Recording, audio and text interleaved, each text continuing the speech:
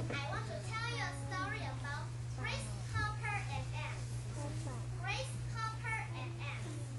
Once upon time, it was grasshopper and ants. It was summer. Everyone felt hot, but ants still working hard. They were saving food for winter.